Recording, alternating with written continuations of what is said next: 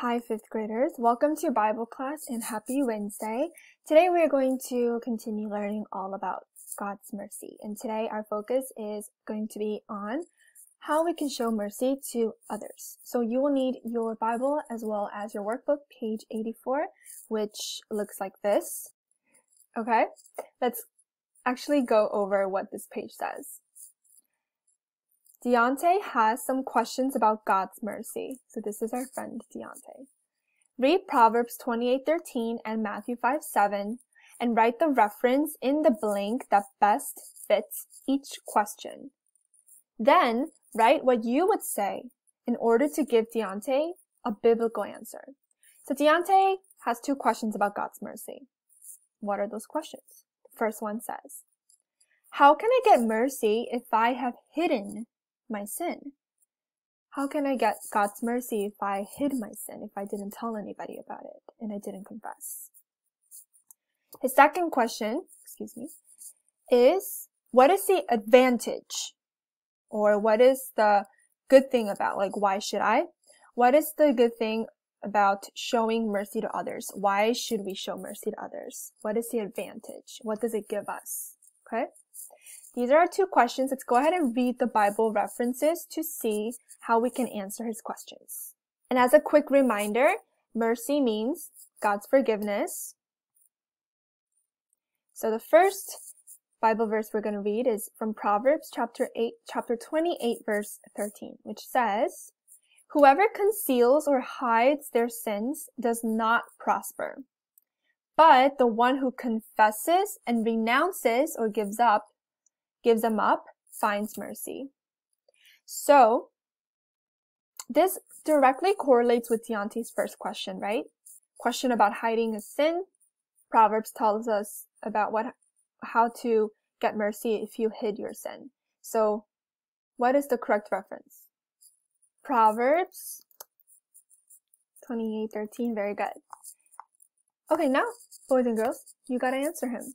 According to that verse, how can Deontay get mercy if he hid his sin? For example, maybe he cheated on a test and didn't tell anybody. How can he receive God's mercy? What does he have to do? Let me show you the verse again. So, what do you think? Pause the video here, write down your answer. Yeah. So we can say, to receive God's mercy, you should confess and renounce your sin. You might have written something different, and that's okay. It doesn't have to be word for word. You could have also written something like, you should repent before God and He will, He will give you mercy, right? Something along those lines. Now, let's look at the second verse. Matthew 5 7 says, Blessed are the merciful, for they will be shown mercy. To answer his question, well, first of all, the question is, what is the advantage of showing mercy to others? Why should I show mercy? What would I receive? So this aligns with Matthew 5 7. What happens to people who show mercy to others? Pause here and tell me what you think.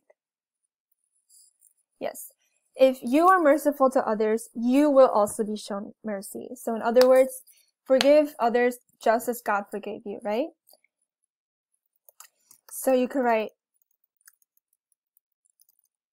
something similar to if you are merciful to others, so if you show mercy to other people, then you will also be shown mercy. Okay?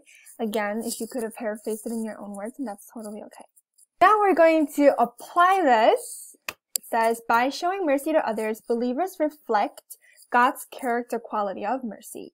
In Colossians chapter 3 verse 12, the apostle Paul encouraged Christians to put on mercy the same way that you put on your clothes. Read the following scenarios. Write at least one way you might show mercy in each situation. So let's read Colossians first. It says, Therefore, as God's chosen people, holy and de- dearly loved, clothe yourselves with compassion, kindness, humility, gentleness, and patience. Bear with each other and forgive one another. Yes.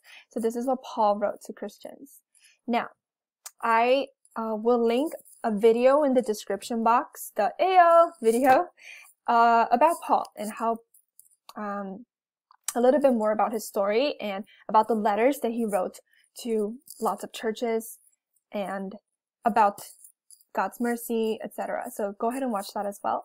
But let's finish our workbook first. The three situations. My dad lost his job and my mother had to go to work. To show mercy to my mother, I could link. So it's not necessarily saying how can I forgive my mother because there's nothing to forgive in the situation. But what can you do here to show compassion and love to your parents in this difficult situation where your dad lost your job and instead your mother has to work? What can you do to show love and compassion to your mom? Pause here and write down your answer. Number four, my little brother received a poor grade in math. To show mercy to my brother, I could. So again, what can you do in this situation to show or reflect God's quality of mercy, to show him, you know, give him some of your time and love? What can you do? Pause here, write down. And lastly, a close neighbor, so maybe a friend or somebody who lives in your apartment building, does not know Jesus as Savior. To show mercy to my neighbor, I could blank. So again, what can you do to show God's love in the situation? Pause. Right. Great. Last question of the day. Can you show mercy this week? What are some things you can do this week to show mercy? So there's a couple ways to think about this. One, maybe you're still holding a grudge against a friend or a parent or relative about something that happened in the past that still made you angry. How, what can you do today to show mercy to this person? Or if we look at some synonyms, words with similar meanings of mercy, we have compassion, forgiveness, hu- humanity, kindness. So another way to phrase this question would be, what can you do to show kindness or compassion or your gratitude to somebody this week? So what can you do today to show your parents that you're grateful for them? What can you do to show your your neighbors or your relatives or your friends that you're grateful for them and that you care about them?